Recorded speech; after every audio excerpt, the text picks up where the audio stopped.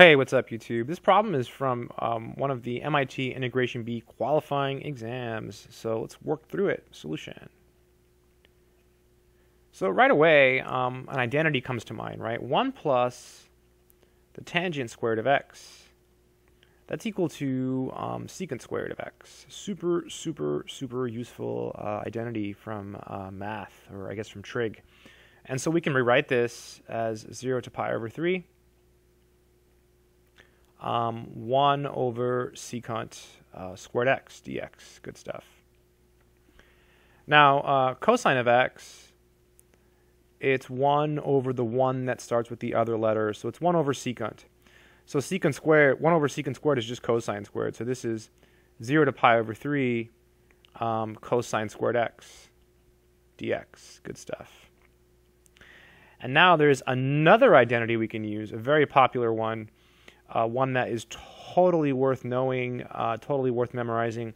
Cosine squared is 1 plus cosine 2x over 2. So super, super useful. All of these identities are just like a huge deal. If you had sine squared, it would be the same, except it would be a minus sign. So, so I'm not a big fan of like memorizing tons of stuff, but like these, these are totally worth, uh, totally worth knowing. Uh, yeah, totally worth it. We can break this up into two integrals. So it's 1 over 2.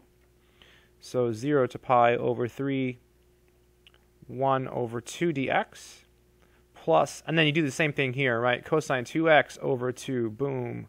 Um, let's pull out that 1 half, though. Let's write it like this. That's how pros do it.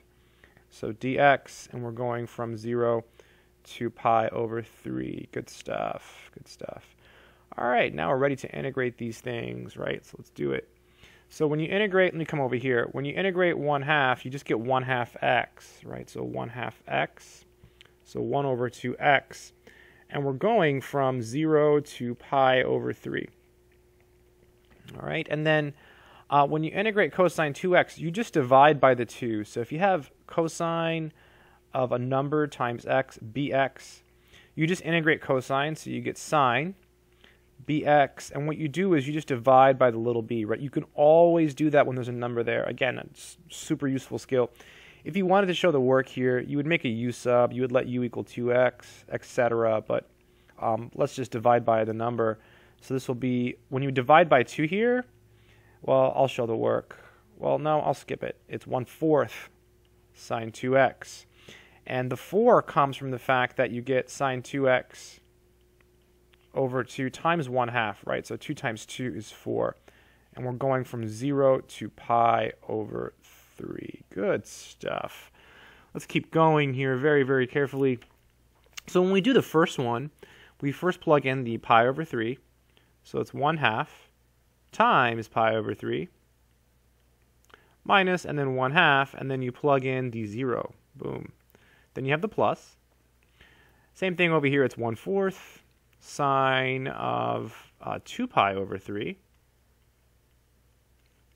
minus and then 1 fourth sine of uh, 0. Right, 2 times 0 is 0. Let's keep going and see what we get. So we get pi over 6. Okay, that's okay. This is this is 0 here. Plus uh, 1 fourth sine of 2 pi over 3. So I got to think now. Let's see.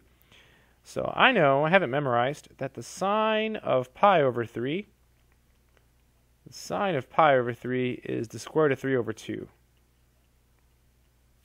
So 2 pi over 3 has the same reference angle, right? The reference angle is this one here. Uh, it has the same reference angle. So the value of uh, the sine of 2 pi over 3, which is this angle here, is going to be the same as the value of the sine of pi over 3, except the sign might be different, right? It might be a plus or a minus. So it turns out it's plus, and because that's because sine is positive here, right? On the unit circle, sine is the y coordinate, right? You can think of every point on the unit circle as an ordered pair, cosine, uh, comma sine. So sine is the y coordinate on the unit circle. So y is positive here, and so because we have that, you know, it's like a pi over 3, it's 2 pi over 3, it's going to be the same thing. It's also going to be square root of 3 over 2. So square root of 3 over 2. And this one here is 0. Sine of 0 is 0 because on the unit circle, this is the angle 0. and sine is the y coordinate. So here the value of y is 0. Um, if that didn't make sense, uh, the whole sine of 2 pi over 3, like if you had to do sine of 4 pi over 3, 4 pi over 3 would be down here, right? Because this is pi, which is 3 pi over 3. So 4 pi over 3 is pi over 3 more.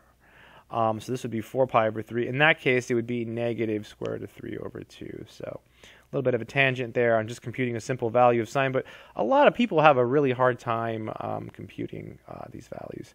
So the final answer is pi over 6 plus square root of 3 over 8.